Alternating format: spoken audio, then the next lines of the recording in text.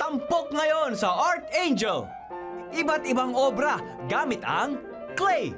Ano kaya ang idodrawing ni Pintado? At ano naman kaya ang bubuting tingin ni Kristal? Hello! Good morning sa lahat ng mga batang Art Angel! Oras na naman para lumika, mag-try at matuto. Ganda ng sapatos ah! Thanks! Mapapasabak na naman ang ating mga kamay at daliri. Dahil gagamitin natin itong panghugis sa mga clay.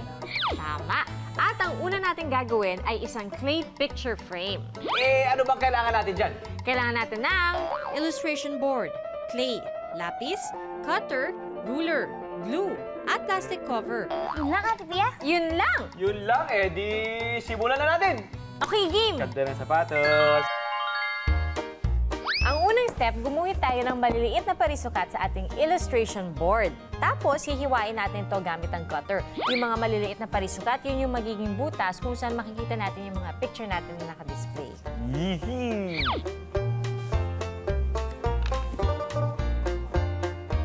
Di ba? Pag binutasan natin yan, magiging picture frame na. Kaya lang, para mabutas yan, kailangan natin ng cutter. Ngunit bago ang lahat, Teka muna. Mag-ingat sa paggamit ng cutter, mas mabuting humingi ng tulong sa mas matanda.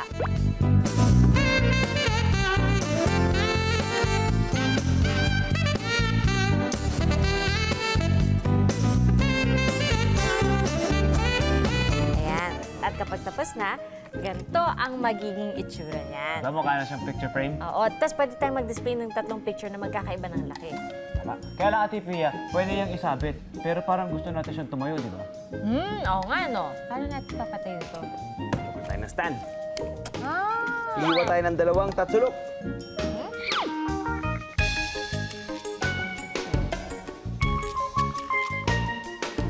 Yan, meron tayong isa. At pagkatapos na yan, meron tayong dalawa. Hmm, okay. Para naman maiba yung pag-design natin sa picture frame natin. Di ba, madalas ginagamit natin makulay na papel o kaya pintura, ganyan. Ito, meron akong bagong material. Tadam! Clay! O, di ba? Clay! Pwede natin gamitin yung clay dito sa ating picture frame. Masahin lang natin ng mabuti yung ating clay hanggang sa lumambot ito. Tapos, yan, kukuha tayo ng mga maliliit na piraso at ididikit natin sa ating picture frame hanggang sa matakpan natin yung buong picture frame ng ating clay. Yan. Tapos pwede nating hulmahin para walang makikitang puti sa ating picture frame. Yan. Mas mas madali actually ko ito ni Pet kung liliitan mo muna sige, Ate Pia, habang ginagawa mo yan, gagawa ko ng iba't ibang mga disenyo mula sa iba't ibang mga kulay ng ating clay. Okay, sige Kuya Tony Pet. Hindi mo na kailangan ng kahit anong gamit, kailangan lang natin ating kamay.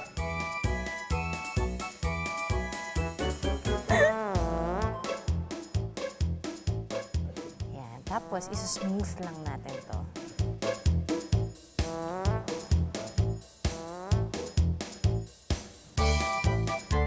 Nating lagyan ng clay yung buong picture frame at Pupunuin. kapag natapos na, ganito ang magiging itsura niya. Punong-puno, di ba, Kuya Tony Pet?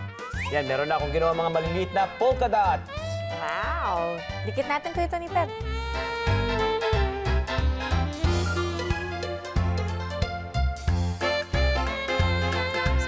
Kuya Tony Pet, kapag napuno na natin ng disenyo yung ating picture frame, pwede na natin idikit sa likod yung dalawang tatsulok na ginupit natin kanina mula sa illustration board dahil ito ang magiging stand ng ating picture frame.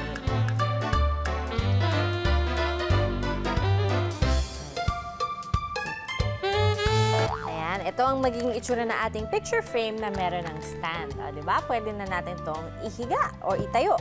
Ngayon naman, gagawa tayo ng mga maliliit na mga plastic covers para idikit natin sa ating frame para maprotektahan ang mga pictures mula sa dumi. Siguro, mas malaki ng konti mula sa ating original na size na butas. Okay.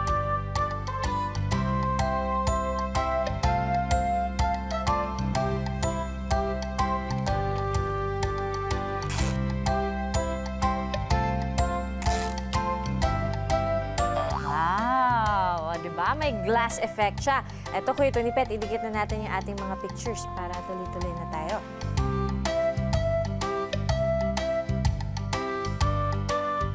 Yan! Tapos na ang ating clay picture frame. Ang ganda, di ba? Ito, meron na tayong mga litrato ng mga friends natin. Ang ganda, no?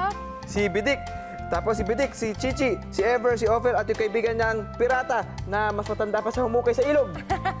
Pwede natin i-display yan sa ating Art Angel tambayan, Kuya Tony Pet. At maaari pa kayo gumawa ng mas malaking picture frame. O mga bata, simple lang gawin, di ba? Kaya subukan nyo rin gumawa, ha? Gagawa tayo ngayon ng isang clay ref magnet. Ang kailangan lang natin ay illustration board, lapis, gunting, super glue, clay, magnet, at googly eyes. Yun lang, yun lang ang kailangan natin para makagawa ng isang clay para sa ating ref. Yan. Ang first step natin, gagawa lang tayo ng bilog dito sa illustration board. Pagkatapos, gugupitin natin.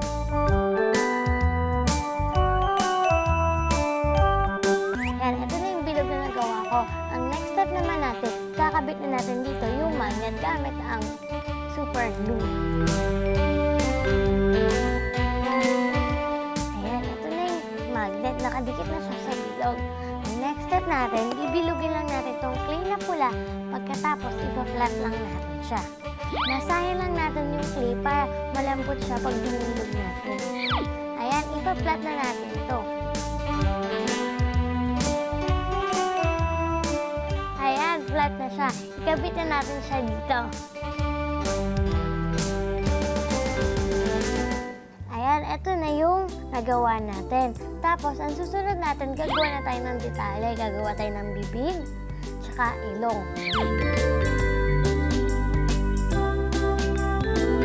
Ayan, eto na yung bibig. Ayan, eto na yung ilong at bibig. Ididikit na natin ng googly eyes para magkaroon siya ng mata. Para lalong mas maganda, didikitan siya ng mga, mga sa gilid na mga color violet naman na clay para mas makulay.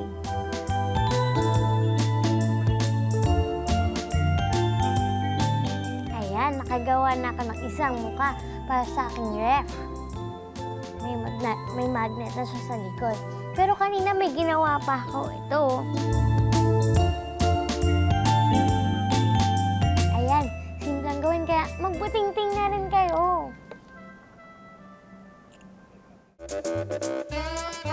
Dito sa Lights Camera Obra, tampok ang iba't ibang celebrities. At kasama natin ngayon ang isa sa mga pinaka-paboritong kuya ng mga programang pambata, lalo na ng batibot. Walang iba kundi si Kuya Bochi Pasqua. Magandang araw. Ay, uh, Ate Tia. Ate daw. Ah, magandang araw sa iyo. Magandang araw mga batang art angel. Salamat sa pag-anyaya sa akin dito. Naku, Kuya Bochi, isang napakalaking karangalan po para sa amin na napunta ka dito sa aming Art Angel Tambayan. Naku, hindi ko nga akalain na mapapadpad ako dito sa inyong mundong makulay. Salamat sa iyo. Salamat din kay Kuya Tony Pagkasakin siya. Nandyan, lang, yun. Oo, ka- ka- kapiling natin siya. Oo, kapiling din natin siya. Nako, eh, Kuya Boji, ah, ready po na ba kayo para sa obra na gagawin natin ngayong umaga? Ah, palagay ko kakayanin ko dahil medyo nagpa-practice ako kanina sa paggawa ng ating project. ano po bang gagawin natin ngayong umaga? Mga bata, ituturo namin sa inyo ngayon ni Ate Pia ang paggawa ng isang jazzed up switch plate. Wow! Sa madaling salita, sa madaling salita, ah, ah, yung mga nakikita niyo ba ito? Ito ang tawag dito ay switch plate. Ah, ito yung makikita niyo sa inyong mga dingding, di ba? Dito naka, nakalabas yung mga switch sa inyong ilaw para bubuksan o papatayin. Ah, pakikita namin sa inyo ni Ate Pia kung paano ito pagagandahin at lalagyan ng iba't ibang disenyo. wow! Sounds good, Kuya Boji. Sobra.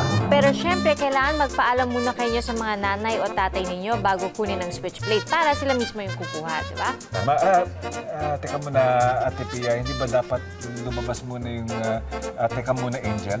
Ay, oo nga, pero naka-leave siya ngayon. Ako na lang muna. Teka muna! O mga bata, tatandaan, huwag niyo basta-basta kukunin ang switch plate mula ah, sa mga dingding ninyo, ha? At baka makuryente kayo. Mabuti na yung nag-iingat. Ayos?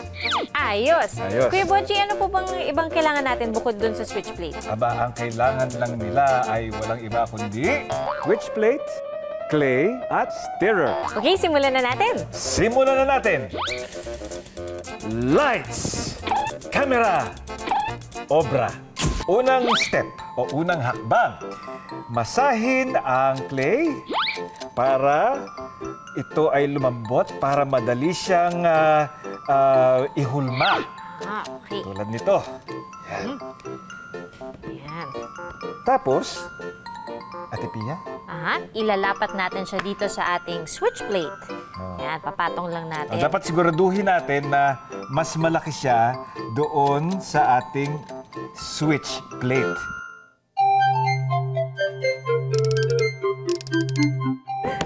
Yeah. Yan. Ganda. Ayan, ito yung ilalim ng switch plate. Ngayon natakpan na ng clay. Ngayon, ah, gamit ang, ah, kung wala kayong makitang plastic knife sa inyong bahay o galing sa mga ah, restaurant na inyong kinakainan, kahit na anumang plastic na matigas at mahaba na maaring, ah, katulad nito, maaring ah, humiwa sa ating malambot na modeling clay, ah, hiwain natin yung mga ah, bahagi ng clay na ah, sumusobra doon sa gilid ng ating switch plate. Yan. Para lumabas yung dating hugis nito na natakpan lamang ng modeling clay. Yan. At tulad niyan. At syempre, hindi lang yung nasa gilid, pati rin yung nasa gitna. Kasi nandyan yung switch, di ba? Oo, Para ma... para magkaroon uli siya ng butas. Tama ba? Tama. Tama. Magic to. Yan, o, kita mo. Wow! Tara! Butas! Ang galing nga, Kuya Boji. Siyempre, ako pa. Ngayon, meron na kayong switch plate na merong, ah, kung maaalala nyo, ganyan yung kanyang original na hugis. Kaya lang, meron na siyang modeling clay sa ibabaw. Ha? O ngayon, Kuya Boji, siguro pwede pa natin itong pagandahin, di ba? Lagyan natin ng iba't ibang disenyo. Tumpak! So, pwede tayong gumawa rin ng mga disenyo para dun sa ating switch plate. Yung ibang kulay ng clay, yan, ipa-flatten lang din natin yan. Tapos, gawa tayo ng mga maliliit na parihaba o kaya parisukat. Meron tayong parehaba, meron tayong parisukat. Yan, pwede na natin idikit. Ito, nilinis ko na rin itong, ah, inayos ko na itong ating switch plate kanina. Inayos ko yung ah, hugis ng butas at ah, nilinis ko yung pagkakadikit sa mga gilid-gilid. Handa na siya para dikitan ng disenyo ni Ate Pia. Ay, ako pala! Okay, Sige. sige,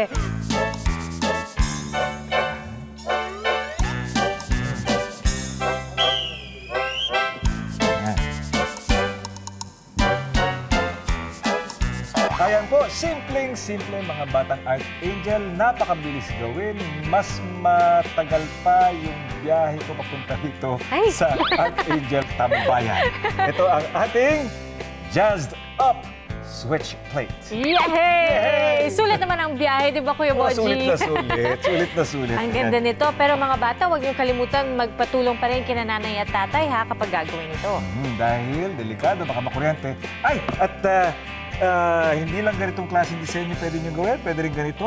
Ah, Wow. Kung dito sa iisa lang butas ng inyong switch plate, pwede rin nyo gawin sa dalawang butas. Mhm. Siyempre, hingi kayo ng tulong sa inyong mga magulang. At ah, mag-eksperimento kayo sa iba't ibang hugis at kulay. Ang ganda ng design na to, Kuya Boji, ha? Oh, siyempre, ako nakaisip niyan. Hindi ako kanina yan. O, di ba? Meron pa kayong mga pahabol tips at pahabol na design mula kay Kuya Boji. O, tumpak. Oh, ayan, mga bata, gumawa na kayo. Napakadali lang. Oras na namang mag-drawing kasama ni Pintado! Oh! Hey, Pintado. Pintado. Hey. Hindi yung kaibigan mo. Pakilala mo naman ako. Hello. okay yan, ah. Okay yung friend mo, ah. Hulaan niyo kung ano o sino ang idodrawing ni Pintado. Pero mukhang sino, eh. Ha? Mula sa iba't ibang mga hugis, letters, numbers, at iba pa. Handa na ba kayo? Handa na ba lapis nyo, Pintado? Okay, game. Unang step. Parang ref magnet yan, ah. Okay yan, ah. Tama. Gumuhit si Pintado ng iba't ibang laki ng bilog sa paligid ng ref magnet. At pangalawang step. Ah, step, pangalawang step agad, ah. Bilis lang ito, eh. Gumuhit naman siya ng mga patayo at pakrubang linya sa ilalim ng mga bilog. Pangatlong step, Mga oblong naman ang kanyang iginuhit sa magkabilang gilid ng mga patayo at pakurbang linya. Pang-apat step, last step. Gumuhit naman siya ng paalon-alon na linya sa palibot ng ating ref magnet. Okay, ah, mula sa isang simpleng ref magnet, marami kayong magagawang obra. Ang galing ah. Nawalaan niyo na ba kung sino o ano ang idinodrawing ni Pintado? Abangan. Pintado, pakilinawan mo na mga linya gamit ang marker. Yan.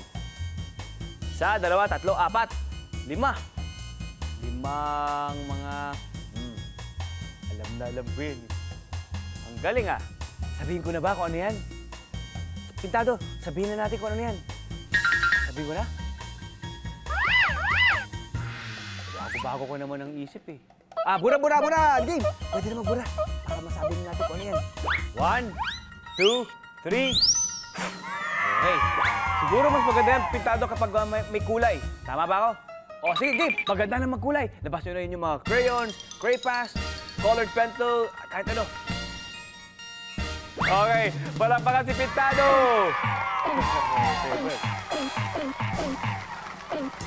Palapakan ang mga sarili ninyo! Nakapag-drawing kayo at si Pintado, dadadadadan, ng isang bulaklak mula sa isang clay ref magnet. Yung clay ref magnet ni Crystal kanina, yun yun. Ang galing ah. Salamat, Pintado. You're the best. You're the hand.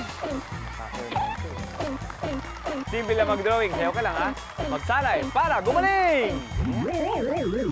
Oras na para magpaalam!